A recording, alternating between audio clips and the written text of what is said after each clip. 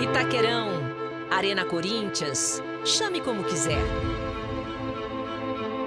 Arena de sonhos que se materializa, voa alto e realiza, ultrapassa a política que se destaca, a fome que mata e o medo perverso da derrota em palco tão iluminado. O sonho cresceu carente e discriminado, agora ergue, revigorado, na altivez da dignidade de um menino.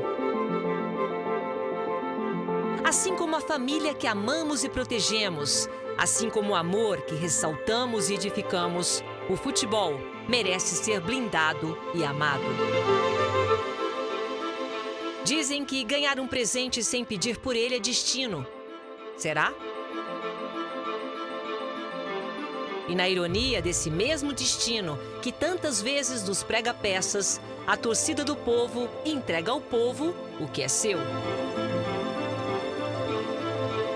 A Arena Corinthians driblou dificuldades, atrasos, injustiças, alegrias, tristezas, mas está aí, linda e suntuosa.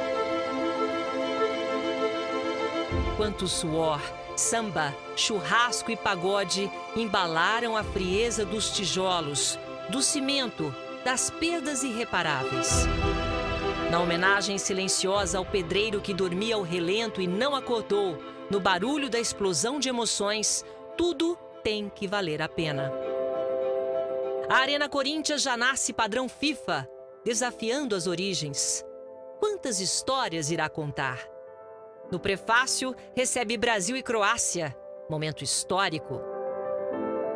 Afinal, que estádio tem a honra de ser inaugurado com a abertura de uma Copa do Mundo e com o Jogo do Brasil? Itaquerão, Arena Corinthians, chame como quiser. Nosso grito nessa Copa será um só: Brasil!